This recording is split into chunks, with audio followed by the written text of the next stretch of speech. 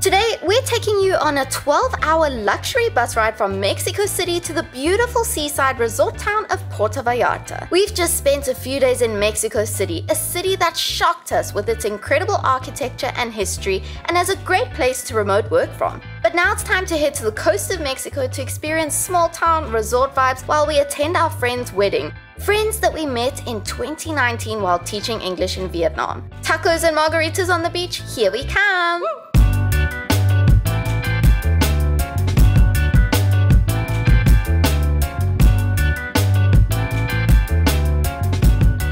We are going to call an Uber and take a 25 minute ride to the Mexico Norte ETN bus station. You must be wondering why on earth are you guys taking a bus instead of airplane? And that's because the price of flights have literally quadrupled because it is spring break at the moment. So it's become unaffordable and so we're taking a cheaper, more affordable option and yeah, let's review the bus and see if it actually is a good Oh. option. Got no idea.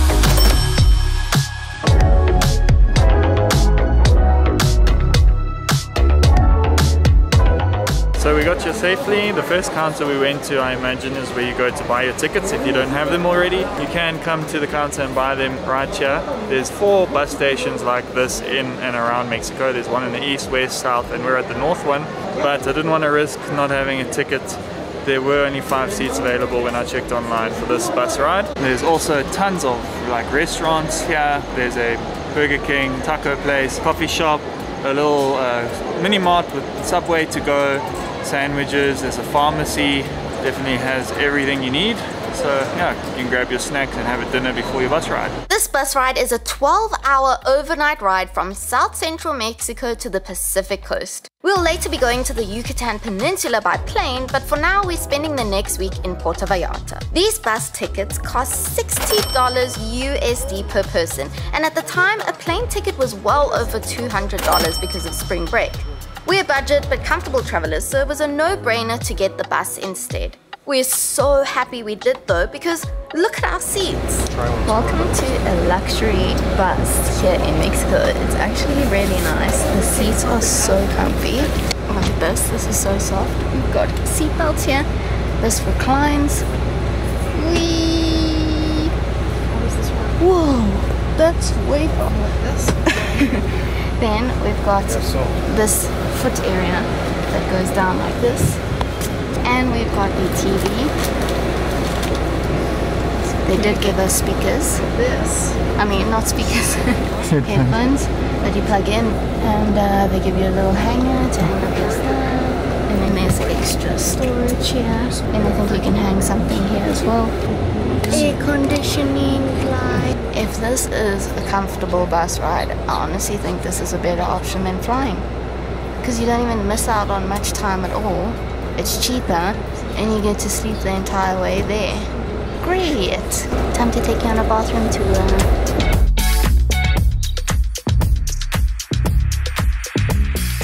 Smells so good in here. Soap, towels to dry your hands, the sink, the toilet, and I think that's a baby changing station.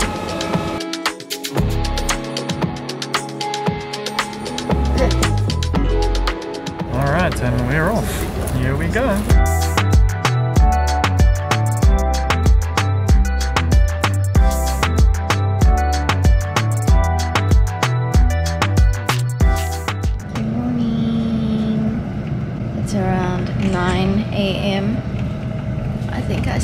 Solidly until like the sunrise. I filmed a little bit of that and then I knocked out again and slept solidly until like 8 a.m.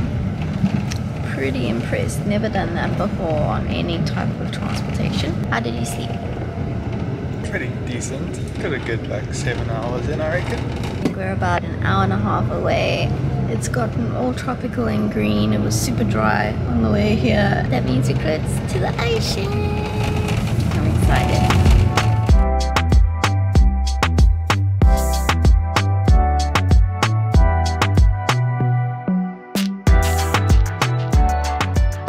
We finally reached Puerto Vallarta. It's a small coastal town known for its resorts, beaches, cobblestone streets, water sports, and nightlife scene. We are here. Short Uber ride to our Airbnb. Our friend's wedding is taking place in the hotel zone where all the big all-inclusive resorts are. Prices are around 300 USD a night for these, so we chose a cheap Airbnb close enough in El Centros. It definitely looked better in the photos, but it was clean, so that's all that matters. After check-in, we headed out on foot to explore the streets and cafes around our Airbnb in the center of town. First impressions reminds me of Vietnam, Da Nang, Nha Trang, those kind of cities. Beautiful beaches and palm trees and looks quite modern but then also quite developing at the same time. We're currently walking about 300 meters to the Green Place Cafe to find a place to do some work. You can tell there's a lot less pollution here than Mexico City because the sky is super nice and blue. It's like super beautiful here, birds chirping. There's a lot of tourists, a lot of American people here. Cobblestone streets, palm trees. Let's go check out the beach.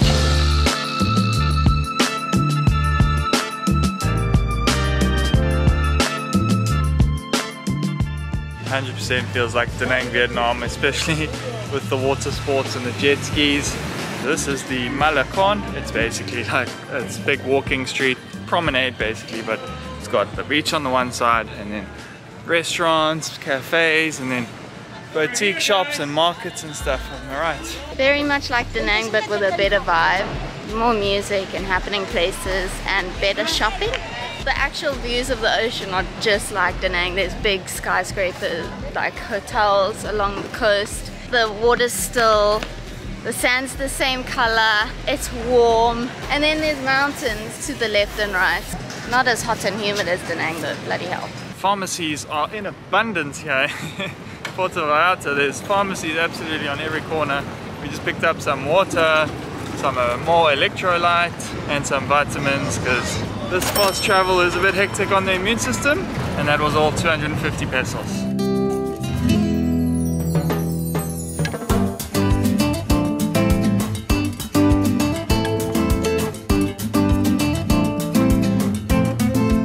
It's Claire from the future.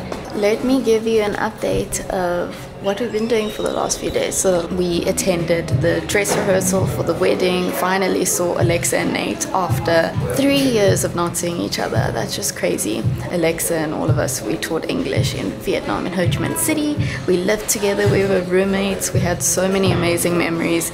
And three years later, here we are attending her wedding. It's just so precious. It's one of the perks of you know, traveling to a foreign country and meeting new people, you make lifelong friends forever and ever. It's awesome. And then the next day we had the wedding. It was so beautiful. I think we should put in a little cinematic now. We had so much fun. It was a special day, guys. So yeah, let's do the cinematic of the wedding here.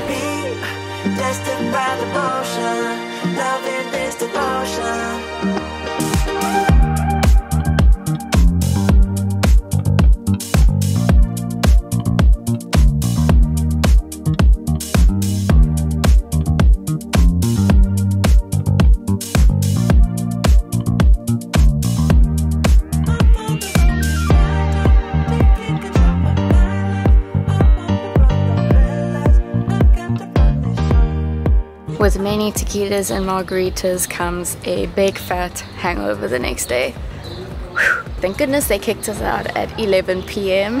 the night of the wedding. It would have been way worse if we stayed longer. The venue was an all-inclusive so, and an open bar and they just kept pouring us tequilas and margaritas all night long. We've been spending the last two days here in Puerto Vallarta just chilling, catching up on work, and we've been staying in an Airbnb in the center between Romantica and the hotel zone. And to be honest, we can't recommend it. It's been a bit of a not so great Airbnb. It hasn't been comfortable, but it was definitely a budget option, so we won't be linking it to you guys. Can't recommend, sorry getting some work done at a beautiful cafe here. Definitely the best one we found yet.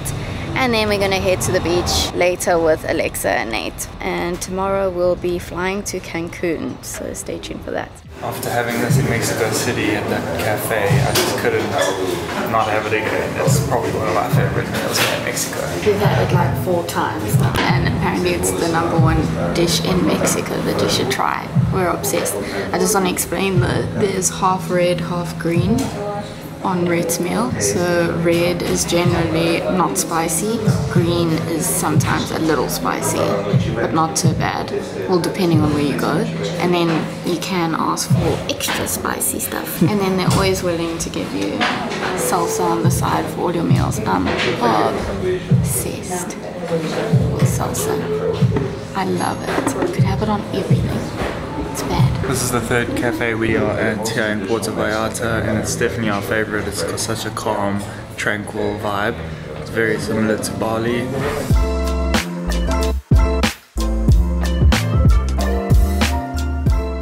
Okay, so we just checked into our new hotel. We're only gonna be here for one night and then we fly to Cancun tomorrow. It's a very basic room. What makes up for it is the rooftop. It is so cute. There's views of the mountains and the oceans. There's places to sit there. I can imagine sunset is beautiful. And we're paying $40 for the night here and it includes breakfast. So it is a budget option. Kind of regret not staying here the whole time because our previous Airbnb was roughly the same price and not as nice, not with as many amenities as this. So yeah, if you're ever in Puerto Vallarta, I think you should check this one out for a very budget option though.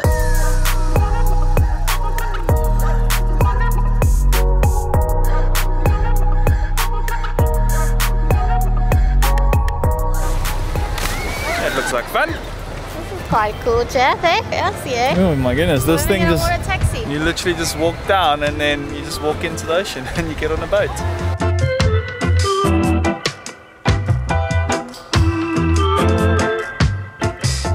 Welcome to Los Muertos Beach. It is in the Romantica zone. There's a big pier, well, like a relatively big pier out here where you take the water taxis to the other beaches. But this beach is quite a vibe. There's lots of restaurants and bars on the beach where you can have a cocktail, have dinner, and be on the sand and you don't have to be staying in one of the hotels to come eat here which is different to the hotel zone where most of the beaches there are like private access and you have to be staying in one of the all-inclusives to go and chill on the beach there. But we're excited to head to the next beach where we're to get a water taxi and it's like more private. And you actually can't get there by car Rhett told me so yeah what an adventure man there's quite a cool breeze in the air we are here in spring I wanted to swim in the water but I don't know if I want to anymore because it's feeling a little chilly man One thing's for sure, it is definitely not easy to find ATMs.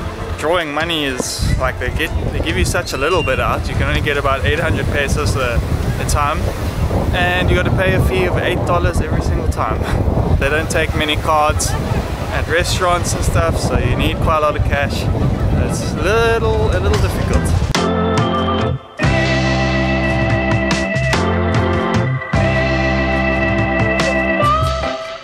Turns out we're not going to go to the beaches further south. We have to get on the boats early in the morning and then they only come back the next morning. Apparently they don't come back at night so we would be stuck there. So we're just going to hang around in this area, eat some tacos, watch the sunset, have some drinks, chill with friends. It's good vibes around here.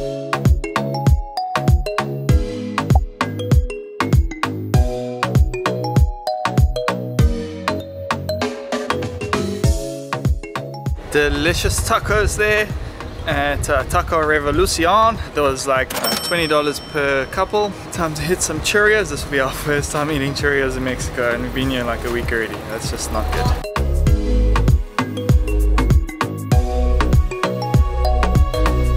Three churros and a chocolate sauce for 45 pesos. That's one churro and we got three of them and they are so fresh and yummy. Go!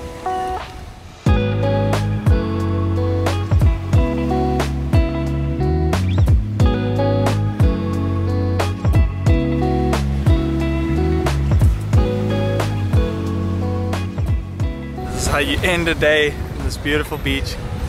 Having some churros with friends. Amazing vibes. It was an absolutely wholesome few days spent with our friends in Puerto Vallarta. Thank you, Alexa and Nate, for sharing this special time with us. We're so grateful to be spending these moments with you. In the next video, you'll see us fly to Cancun and then to Tulum. So get ready to explore the unbelievably beautiful Yucatan Peninsula with us. See you in the next one. Goodbye.